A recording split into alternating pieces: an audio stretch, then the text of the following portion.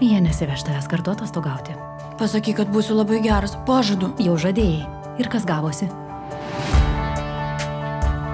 Aš negaliu pasiimti savo draugę, tad pamaniau. gal- Nesirūpink, mes priimsim. Gal dėl viso pikto paklaus mamos? Gerai, paklausiu, bet ji tikrai neprieštaraus.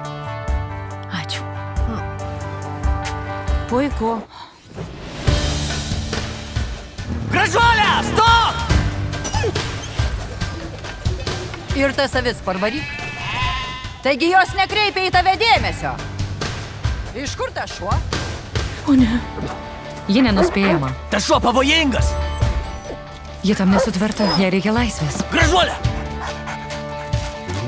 Pasvajok, dičkė. Nauji didvyriai.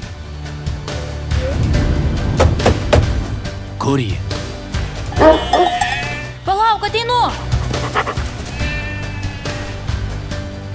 Tu drasus ir nepaklusnus. Tikras piemuo. Duok penkis. Naujoji karta. Čia mano Instagramui. Ėdantis šuo, kam įdomu? Mano šunį matėt? Aš tai nieko nemačiau. Gražuolė! Nauji pavojai.